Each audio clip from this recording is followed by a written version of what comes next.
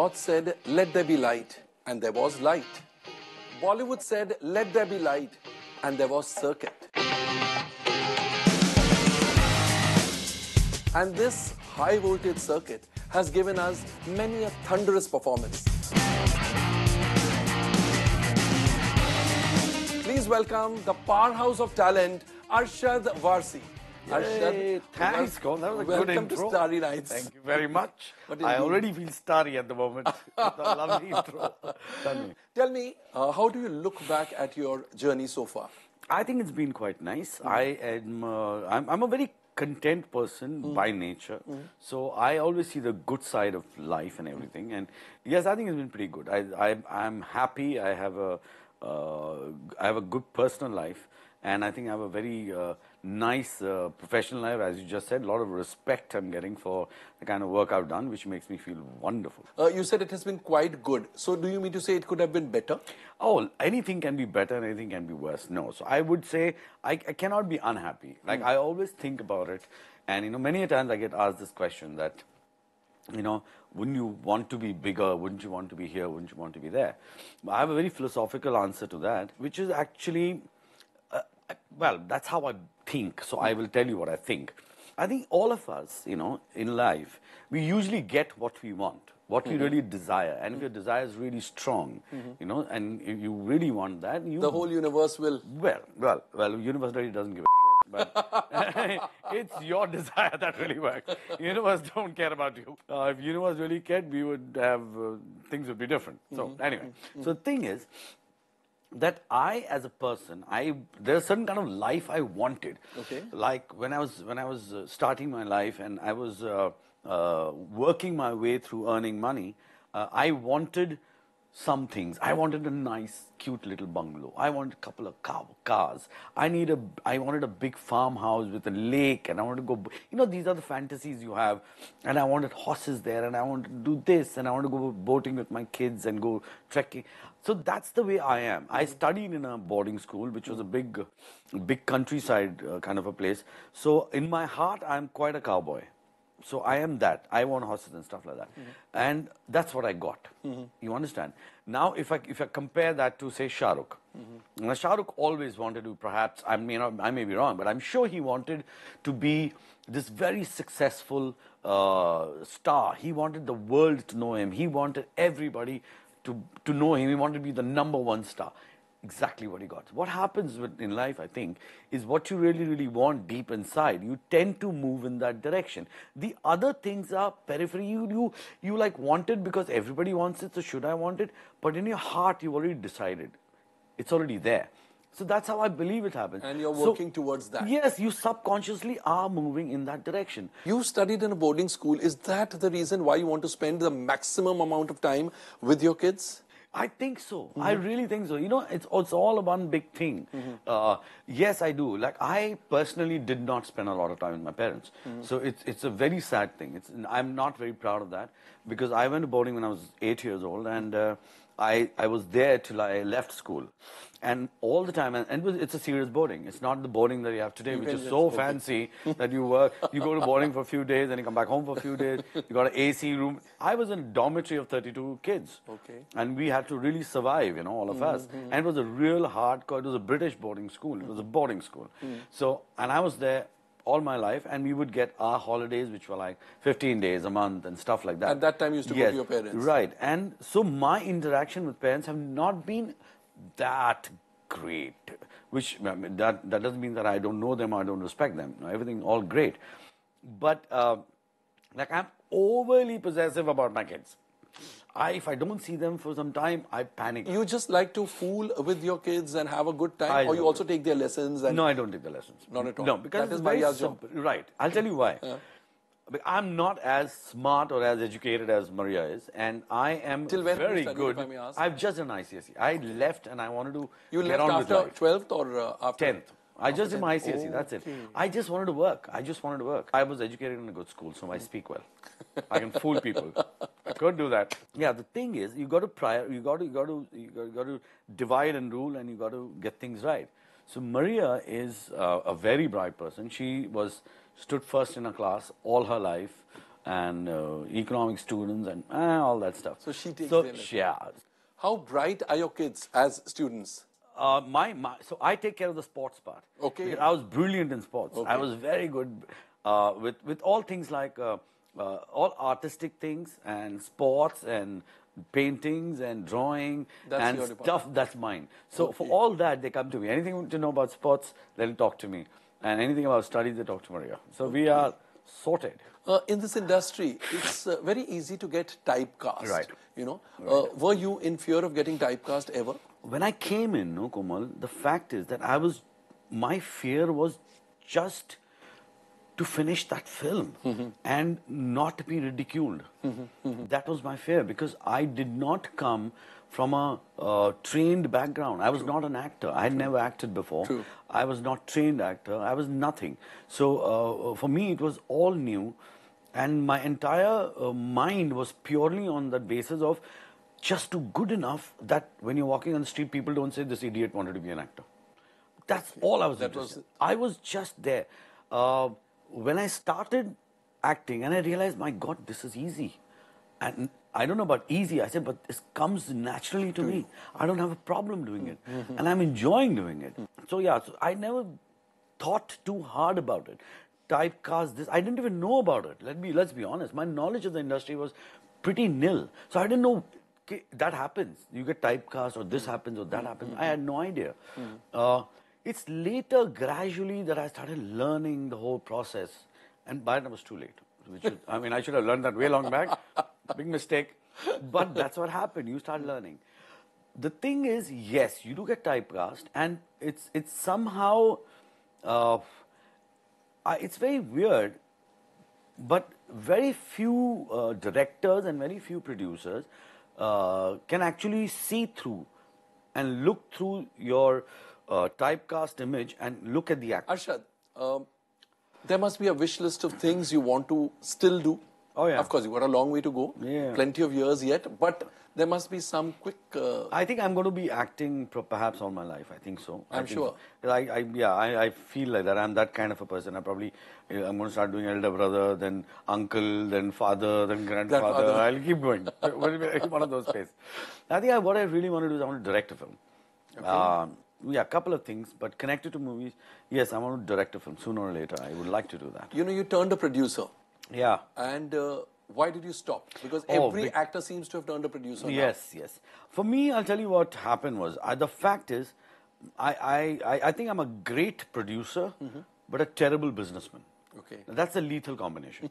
it's very bad to be like that. Because uh, either, you know, if you're a good producer, you better be a good businessman so that you can control yourself. but being a bad businessman, I was like, yeah, yeah. You want to blow up that car? Yeah, yeah, blow it. Whatever you do. You want so many people? Yeah, go for it. You want to spend so much? Do, do it. Which is not a bright thing to do as a producer, as a businessman. So I realized, But no, if you I'm come up the hard way, one would know the value of money. How come you were a bad no, no, business? no. It's. Uh, I don't think it's like that. I think. I think uh, you you know the value of small denomination of money. Okay, this was big money. You lose perspective. Just kidding. and therefore, you decided to just uh, Hmm. give up production. Not really give up. I I tend to not give up anything. Mm-hmm. But I guess it's maybe later, maybe later when some other thing, something excites me, mm-hmm. or if the whole equation is right, and mm-hmm. or I have better, smarter people who can handle the business part of me, and I can handle the creative part of me, something like that, something. But as I said, never. I would never say never. Mhm. Never say never. Never. Uh, what gave you the confidence that you can be a Bollywood actor? I became an actor really by default. And I'm here. Well, I don't know what to do. so, but yeah, but if somebody tells me, okay, we would like you to play Superman, I'll say, dude, get a life. I know, I, dude, come on, you can't do that. So you you are aware that you can do certain kinds of roles. Yes, of course, of course. Certain kinds you Yes. can't do. Yeah, I mean, certain kinds, as in when it is absolutely. It's like you ask me to play a basketball player, uh, then I'll have a problem. If you ask me to play a basketball player who was a short person, I'll do it. it's as simple as that. You got to, you got to, you know, know your mm. facts in life. Got to know yourself. Mm-hmm. What is it that you're most comfortable doing in front of the camera, or everything? Everything. I swear, this sounds so pompous. Every time I say it, I'm mm. like, yeah, yeah, everybody yeah, yeah, sure, sure. but really not, no kidding. Mm-hmm. Acting does not scare me. It does not scare me. what scene I'm doing does not scare me. Is it going to be a dramatic scene? Is it comedy? Is it this? You, if you see, if you ever shoot me when I'm working, you'll be surprised that before, okay, Seher, there's a sequence where I die. It's a very dramatic sequence. Before that sequence, uh, Sushant and me were laughing and we were cracking out about something. And then we did that shot. So that's how I am. I Switch on, switch off? Yes, and it absolutely doesn't bother me. What kind of scene? Nothing, it doesn't bother me. I'm fine. I'm comfortable with everything. You know what's tough is comedy. Comedy is tough. Comedy tires you. Just you get tired by the end of the day. Uh, say, for example, had I started my career with a serious film rather than comedy, you know, or let's say, let's say, let's say Chandrachur and me started our career together. If he would did my role and I did And his, done role, his role, huh? I would have probably been doing serious film, and he poor guy would have been doing comedy. you understand? It's just that. So it's just that chance that you were in that. a comic role. Yeah, I was, I was there, and people enjoyed what I did, so they wanted to see more of it. Mm-hmm. And that doesn't stop. Mm. You know, that's how it is. Till oh, many a times you want to say, that's it. Many actors do that. You put a stop.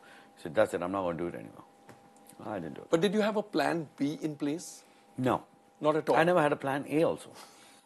Plan B. You never planned. It's a- exactly. It's a long way off. I never had a plan A. Are you as funny in real life as you are on screen? I think so. I think I wouldn't, I wouldn't, I don't know. I have a sense of humor, Mm-hmm. uh, which uh, Maria is fed up of. But but, but when we when we are together, friends and all, yeah. So my co-stars and all enjoy working with me because I'm I like I like a happy atmosphere. So when I'm working, Mm-hmm. it's a happy atmosphere. Everybody's enjoying themselves. There's Mm-hmm. some jokes happening. I I don't like I I, I keep getting asked a very silly question about.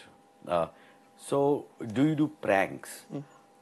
I find that very lame. I think we are too grown up to do. To do pranks, exactly. So I keep telling them, I'm sorry, but no. pranks are for kids. Kids, yeah. Grown ups have a sense of humor. Humor. So yes, yes, we do have a sense of humor. And you tend to uh, spend more time with your film colleagues and film friends or non-film friends?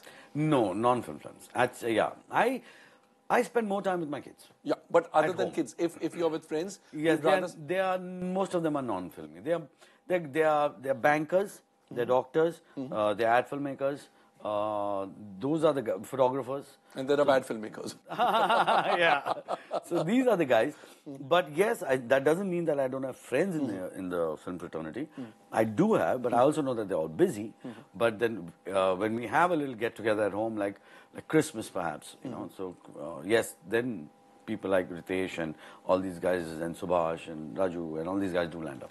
And uh, like dancing gets you alive, you know? I love it, Because you're so good at dancing. Uh, is there any time you have felt intimidated by a dance?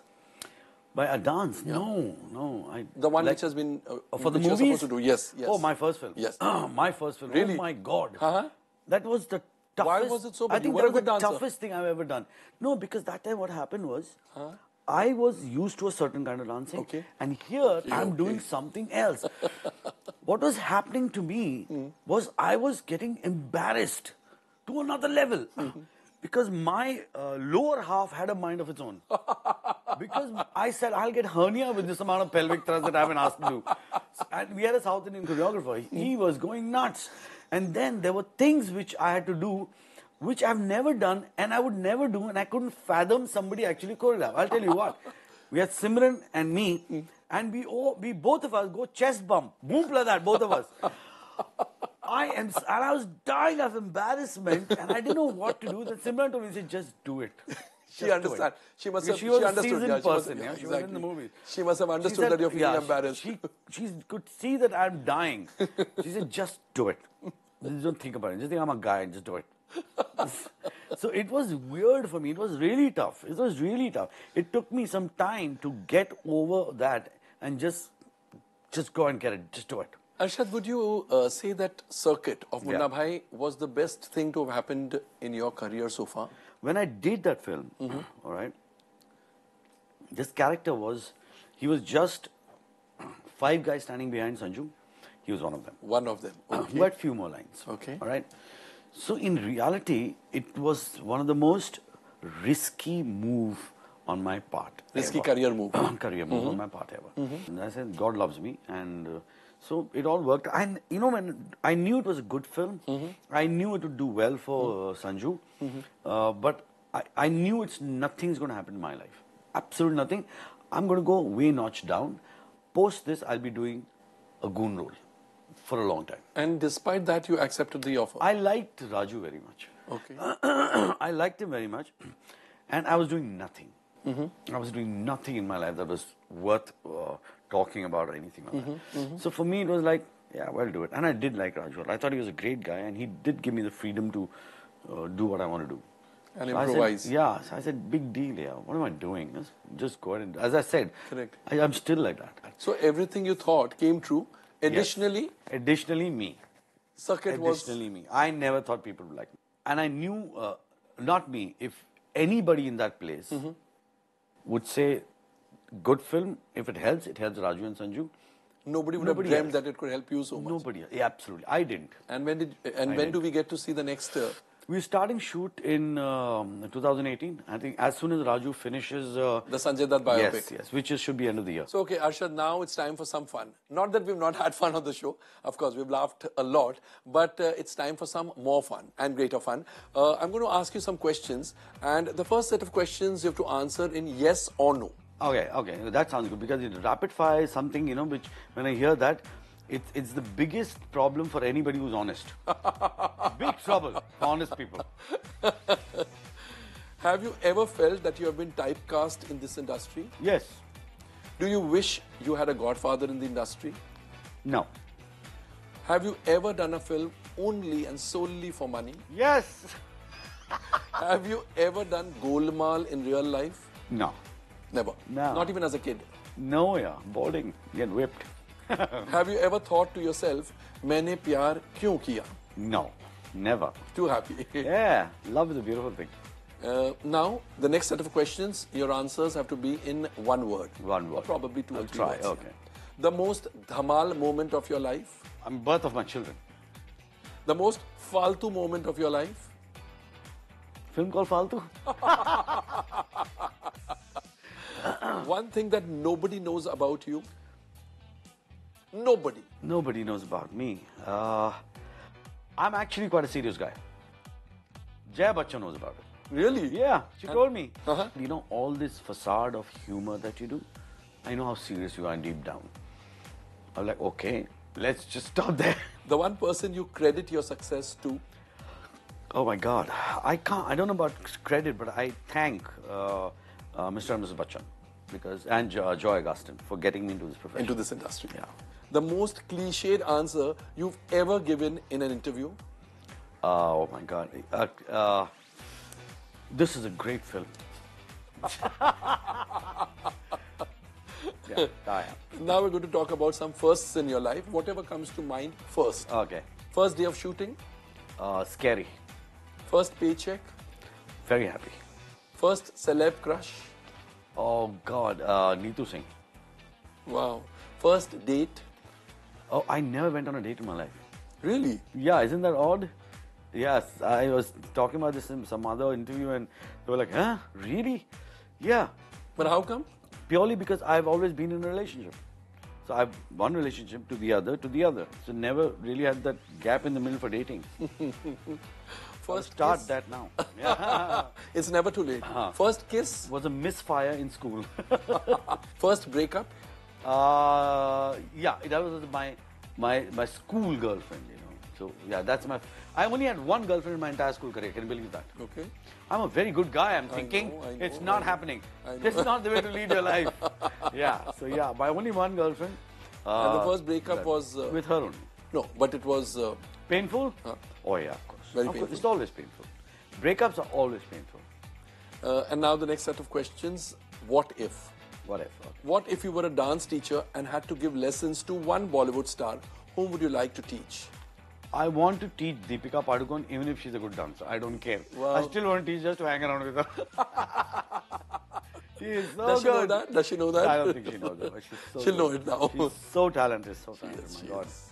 What if you were single for 24 hours? Hmm. What would you do? What would I do? Date. yeah, I think probably I'd miss out on that.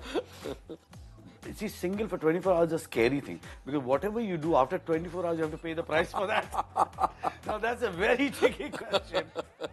What if you turned into your wife for 24 hours? How would you spend those 24 hours? Meditation. I would calm myself down. Maria is so hyper. My God, I was like, calm down. Om. Be like that. What if you could be born either rich or intelligent? Which would you choose? Oh, there's a very funny thing to it. Uh, it's it's a, this joke. Do you, want, yeah, do you want to be rich or you want to be intelligent? So he said, I want to be rich. Why you don't be? Because yeah, because rich people hire, Hire intelligent people to work for them. well, on that intelligent note, uh, Arshad, we let you go. Thank you so much for being on the show. Thank you. It was It a was a- pleasure talking absolutely- to you. Thank you. absolutely. But I- before you leave, we've got a certificate for you. oh my God. CID. Yep. So CID is very good.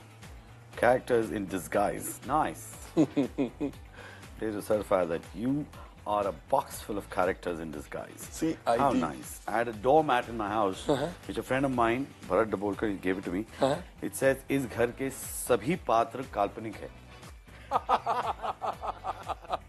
oh, so nice. and as a token of our appreciation, uh, there's a small gift hamper for what you. What are you saying? I want to come back for the show. I'm coming back now only. This, Thank you so much. Thank you Thank so you. much. Love Thank you. gifts and hampers and everything. All right, great, good. Kids getting educated about sexuality. When I went there, I was the only father. They were all women. They were only mothers. Landed Me myself. and my son both are dying. My son's like, why did you have to come, Dada? For 24 hours, if you're single and nobody knew what you were going to do, then I would say, ah, probably did this, I did that.